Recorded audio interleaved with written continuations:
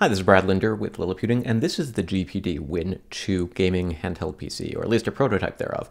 This is a demo unit that was sent to me for testing purposes, and in another video I took a look at how Linux runs on it, but really what I did is I looked at Fedora 27, uh, which is a specific Linux distribution. And I figured a lot of people who want to run Linux on a computer like this are probably looking at Ubuntu, so it's time for another video. So I've got Ubuntu 17.10 installed or loaded up here on a flash drive. I'm just going to go ahead and plug that into the back and then show you the boot process and talk a little bit about what you can and cannot do, at least currently, at least with this prototype. Uh, it's possible that different hardware versions might be a little bit different. But first thing we're going to do is press the power button and then just sort of hammer on the escape key. You can also use the delete key, but I find escape in the upper left corner just a little bit easier to, uh, to hit. And from here, the screen is sideways. And that's because it's basically a six inch smartphone screen that's uh, put onto a laptop style device here. But we can use the arrow keys to navigate to save and exit. Go down to the bottom and choose the USB disk from the boot options under boot override. Uh, it'll be called something different depending on what your drive is, but in this case it's USB disk 2.0 PMAP. And I'm going to hit enter and choose the try Ubuntu without installing. You could install it to local storage, but because not everything works perfectly out of the box, I just didn't want to spend the time doing that. So we're running from a flash drive here instead, which is sort of how you can try it, make sure everything works before installing it.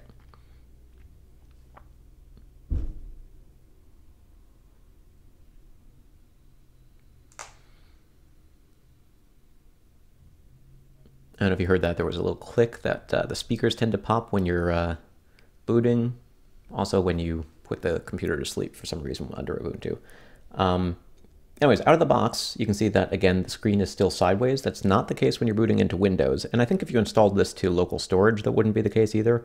But basically everything else, well, almost everything else works. So you can see that the screen brightness adjuster uh, keyboard shortcuts work, the volume works, and the mouse mode works. So I can use the right analog stick to move a cursor and left and right shoulder buttons to click. And so the first thing I'm going to do is make the screen go the right side up by opening the display settings, going to orientation. We're going to choose portrait left. And then the apply button isn't actually on the screen, so we need to drag until we see it. And that should do the trick. Keep changes. All right, so now we've got screen set up properly. Next thing we're going to want to do is probably connect to the internet. Wi-Fi not connected, but it finds Wi-Fi networks pretty easily. So let's go ahead and connect to my home network. It uh, detects both 5G and 2.4G. And after my password is entered, you can see that we are now connected. So we're online. We can go ahead and open up the Ubuntu Software Center. And from here, let's go ahead and make sure that we have different sources enabled.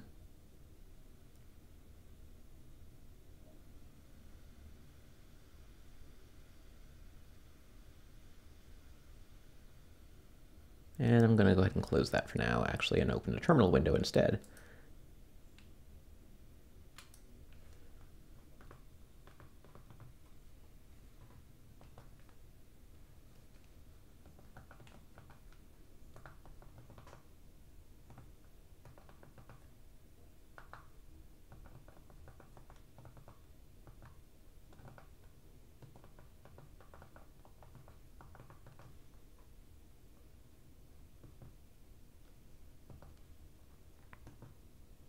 All right, so what we're doing is downloading and installing Super Tux Kart, and I'm just going to let that run in the background. And that's so that I can show you a 3D game uh, functioning. But while we're waiting for that, let's go ahead and open Firefox.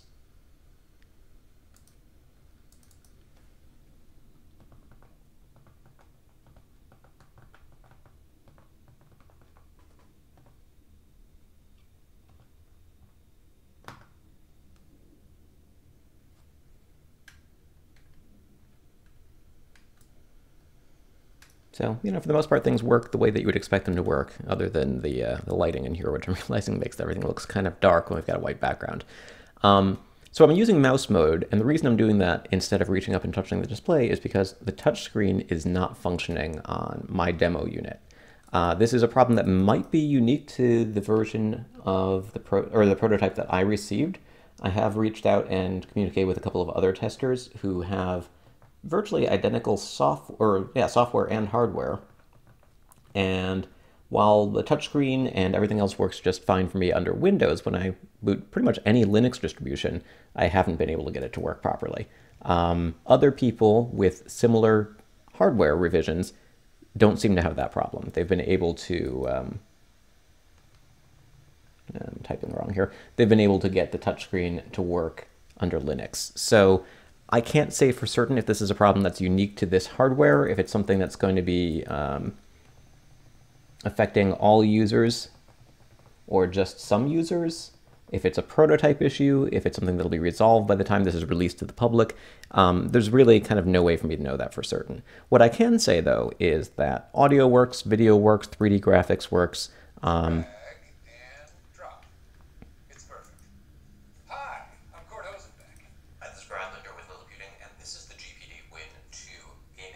And so the out-of-the-box experience is actually pretty good uh, for a device that's not yet released. It's got an Intel Core M3 uh, Kaby Lake processor, 8 gigs of RAM, 128 gigabytes of storage. It's a pretty nice little computer that sells for, uh, well, about $650 during pre-orders during an Indiegogo campaign. It's going to sell for about $700 later. And um, for the most part, it works fine out of the box with Linux. There might be some tweaking that's necessary for it to work better. Um, so I don't know, again, if it's a prototype issue or if it's something that uh, some users might have problems with when it actually ships in terms of being able to get that touchscreen to work. But it's um, off to a fairly decent start. Now, the other thing besides the touchscreen that you might have issues with uh, could be the gamepad. So I'll show you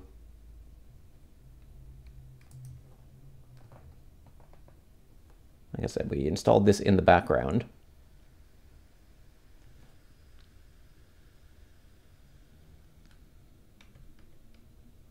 Let's just say no for now. And there's a switch here, which is a little hard to see right now in this lighting, but there's a switch here that lets you uh, toggle between mouse mode and um, gamepad mode. I'm going to go ahead and leave it in mouse mode for a second here just to show you that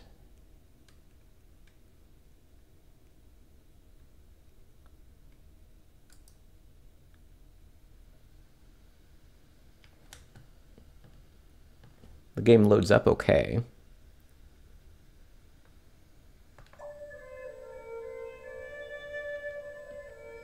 And 3D plays okay.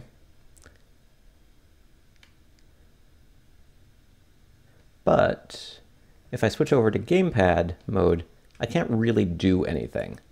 Um, it also occurs to me that it's taking a while to go through this because I entered story mode instead of quick play. Let's go ahead and close this and try again.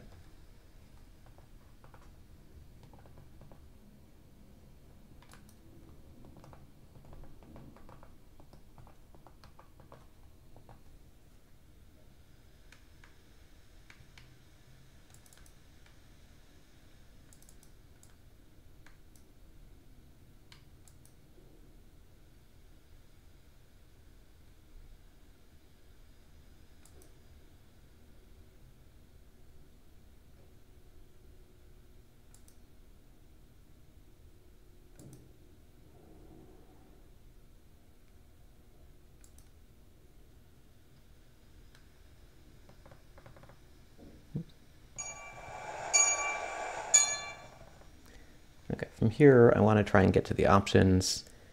And I'm going to go ahead and toggle over to gamepad mode. And really nothing works. I can't navigate, I can't do anything. So I'm going to switch back to mouse mode and go over here to the controlled settings. And it says keyboard. So we've got the keyboard options, but that's all we got. We can try adding a device doesn't see any other devices. And again, if I switch over here, nothing's really happening. Now with some games, you can sort of use keyboard controls anyway. So for instance, in this particular game, you can use the arrow keys to navigate, um, but you could also go into the keyboard settings and say, instead of using left to steer, let's go to the D-pad, which again, lighting problems here. Um, but we can go to the D-pad and say, let's assign left. And what it actually shows is right, or uh, A, because that triggers sort of the A, W, S, D keys. So for steering right, let's say steer right. For accelerate, I'm going to choose the A button. And for brake, I'm going to choose the B button. Now, when I go back to the game,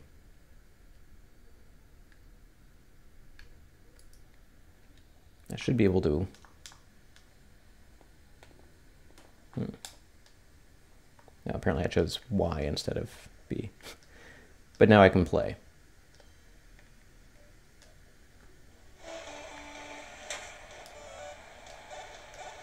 Except I forgot to pick it backwards. There we go.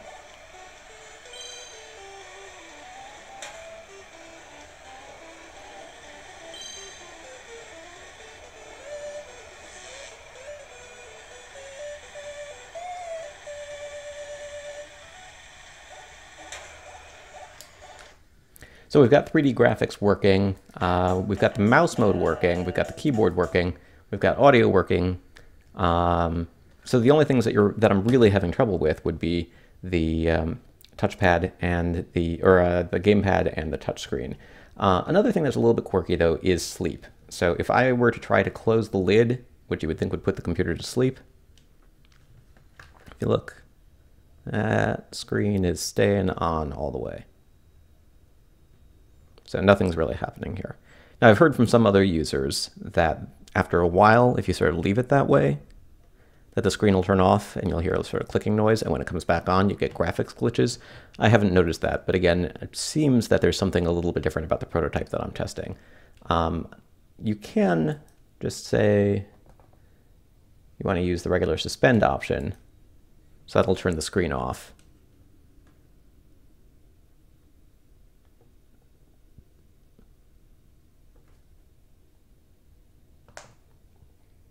And you get that sort of loud clicking noise when it happens. But if you do it manually that way, you can resume. So the main thing is to remember if you are going to use Ubuntu, um, and this is also true for Fedora and some other things that I've tried, um, that you can put it to sleep. You just need to do it manually instead of closing the lid. Um, so again, that's the out-of-the-box experience. It's possible that with some tweaking, people might be able to get the touchscreen to work better, might be able to get the gamepad to work better, and in fact, it might be that some of these problems are unique to the demo unit that I'm testing. Um, I have heard reports from other people with nearly identical hardware saying that the gamepad and the touchscreen work. Everybody seems to be having the same sorts of issues with sleep, which is not that it doesn't work, it's just that you need to, uh, to enter it manually. But this is on sort of day one. This is with a prototype of the device. It's not available uh, to a large number of people yet. The hardware could be different by the time it's finalized. And once there are more people uh, testing it and trying to get uh, Ubuntu, Fedora, Debian, and other Linux distributions uh, supported, it's possible that we could see some fixes. That said, because of the fact that I have run into some issues on this prototype and it should be the same hardware as some other prototypes that are said to work better, um, it's possible that there might be some discrepancies between the hardware that would prevent it from working uh, properly under Linux on different machines. I've had no problems using Windows 10 on this computer. Everything sort of works perfectly out of the box, uh, including the touchscreen, including Wi-Fi, Bluetooth, audio, 3D graphics, and everything. Um, my only real complaint is that the fan noise is kind of loud and that the computer's a little bit on the expensive side for somebody who's not super into gaming.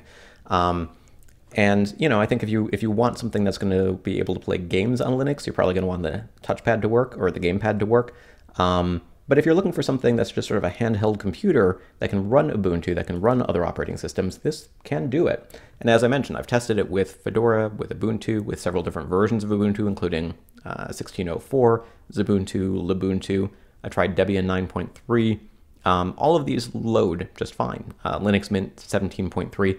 Um, there's some discrepancy. Sometimes the keyboard shortcuts for volume and brightness work in one operating system and not the others. But for the most part, this is a pretty Linux-friendly device, and that might not be too surprising because it's based on hardware that's not particularly uncommon. It's got the Core M3 Kaby processor, 8 gigs of RAM, 128 gigs of storage, um, and you know, it's basically just a little computer that happens to be able to run a wide variety of operating systems in addition to the Windows 10 software that it ships with.